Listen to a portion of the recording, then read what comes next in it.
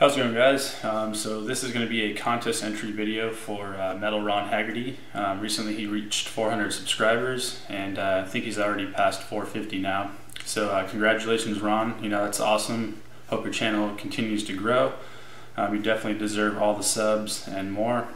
Um, so yeah, if you haven't checked out Rob's channel before, um, he, he, has an awesome channel. He's mostly into uh, different types of metal, um, thrash, doom, and uh, his favorite band is Overkill. So yeah, a lot of 80s stuff, and uh, yeah, he's just a really cool guy all around. So I'll leave a link so you can uh, check out his channel if you haven't.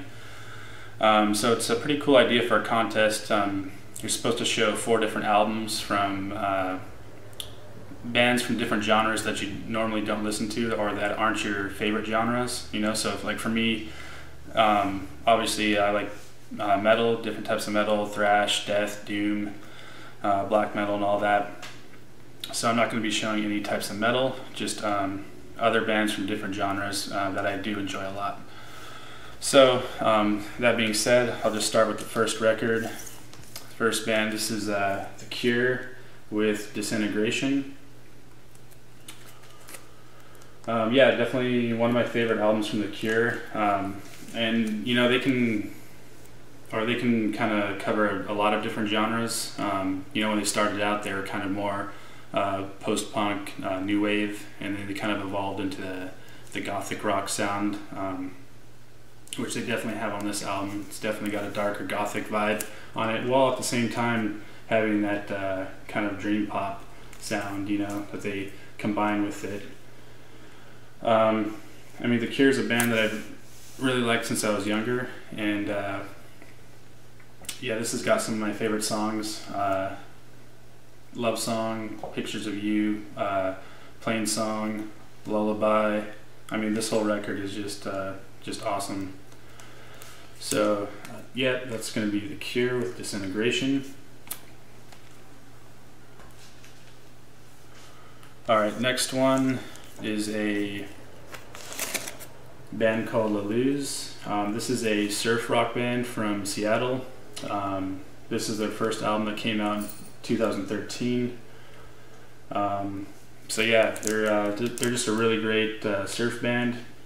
They've got some other influences in there as well, a little bit of psychedelic stuff and uh, even some pop stuff here and there. But overall, it's uh, surf guitar driven.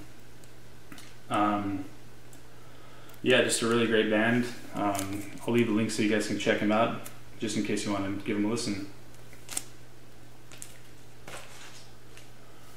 All right, next one. This is uh, this one's actually something I just picked up recently. I haven't even showed this in a video yet, but this is Bob Marley and the Wailers with Exodus. Um, yeah, obviously Bob Marley's reggae, and uh, you know I, I actually do enjoy reggae quite a bit um, especially Bob Marley as well as some other bands like uh, Steel Pulse and Tribal Seeds to name a couple. But um, yeah, this is my favorite album all around by Bob Marley. Um, it's got some of my favorite songs like Jammin', Exodus, Three Little Birds. Um, it's kind of hard not to like Bob Marley, right? So yeah, um, excellent album, and I really like the, uh, the, you know the lyrical content and uh, message that he's always conveyed in his music. And then last but not least, this is the Entrance Band. Um, the Entrance Band is a uh, psychedelic rock band, like a uh, power trio, just a three piece. I believe they're from Los Angeles. And uh, yeah, this, this album came out in 2013, I believe. It's called uh, Face the Sun. Just a really, really good psychedelic rock album. Um, it's a genre that I, you know, I, I want to get more into, and um, especially like the older bands and stuff. But you know, this is obviously a newer band, and they're just excellent.